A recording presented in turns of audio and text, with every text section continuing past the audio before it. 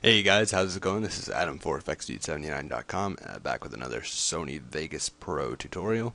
Uh, if you don't have Sony Vegas, you can pick it up for pretty cheap nowadays. Uh, you don't even need the Pro version or the 10.0 version. Uh, it's a very nice uh, editor that you can do just about anything you want in. It doesn't specialize in any one thing, so uh, make sure if you're interested you pick this up. Um, what we're going to be doing today is uh, color correcting our clip to make it look more cinematic and giving it that kind of uh, cinema feel. And uh, I'll be teaching you how to do that. So, we're going to be using this crappy clip that I was using in the After Effects tutorial. Uh, it is uh, shot off of a very poor quality camera. However, with some color correction, we can make it look better. So, we'll go ahead and click the Event Effects button, which is right here and of course wait for that to load. Uh, then we'll select color corrector, color balance, uh, color curves. We'll just go crazy here. We'll select everything. Um, you can do a little bit of glow. I don't usually use that, um, but uh, you can use it if you want. Sometimes on some particular clips, sharpen comes in handy, but it's usually over effective and doesn't really help you all that much. So, for the first clip, it's kind of green, so we're going to be going for the outdoorsy look. So we'll just change the low to pretty just right about there. Medium to around the same, and light we'll just change it to like right there, or high, I mean, we'll change it to like there. So now, all you, as you can see, we already have a different color. You can kind of see it. We turn it off and on, so that gives it kind of a glowy and more greenish look. You can change how much you want it to uh, be saturated with this slider. So say we want to make the grass just look like Windows XP background grass, you can, you know, change it there. And of course, it's not realistic, but in some particular scenes that could be good. For instance, in a dream scene, I've seen this before. These kind of colors are used, so uh, sometimes that can be helpful. You can also use uh, color balance to change these around a little bit. Oh, okay, thanks for that. Um, and then, so you can kind of change how much you want the RGB just the basic RGB colors to be uh, distributed. Um, we can go to color curves. This is where you really do most of your uh, contrast and kind of stuff like that.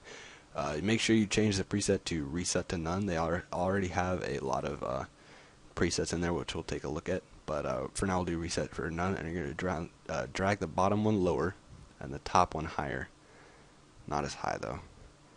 So if we turn off the color corrector for now, we'll be able to look make this look a little bit more cinematic. We'll go back to here, turn it on, and just kind of get rid of a lot of that because it's completely unnecessary in this case. So there we go. Now we have kind of a more darkish scene. Uh, brings out the colors a lot. Um, handy tip: whenever you're editing uh, game footage of like video games, this is very helpful. If you increase the um, color curves, if you do this kind of uh, thing with it, it makes it look really, really nice. So uh, just handy little tip there. Now glow is if you bring it up, if you bring you have to bring the intensity up first, but if you bring the glow, it kind of does that kind of thing.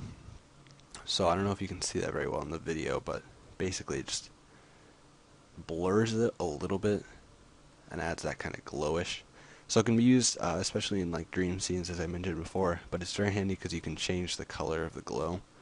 So if you wanted something to glow a certain color, you could do it this way if you did it too much, it just looks ridiculous. But um, it's there and it's helpful at some points, but you want to make sure you don't overdo something like that because a lot of times it's not very necessary. So there, for instance, we have like the grass kind of glowing a little bit, and the uh, the light coming through the trees there.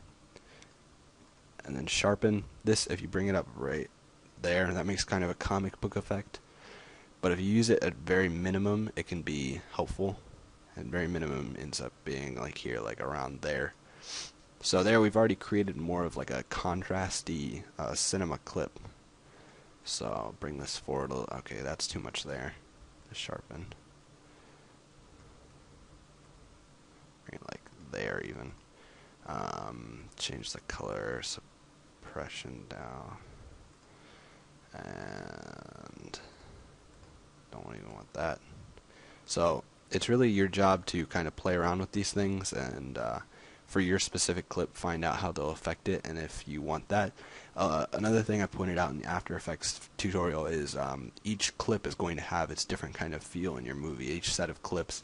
So you want to make sure, based on uh, what kind of film you're shooting, what kind of mood you want to have, you pick the appropriate um, clip, the appropriate, uh, you know, color correction to match that. If you wanted to have more of like a let's get rid of this and we can do kind of like a blue thing here. Alright then we'll change the color balance back.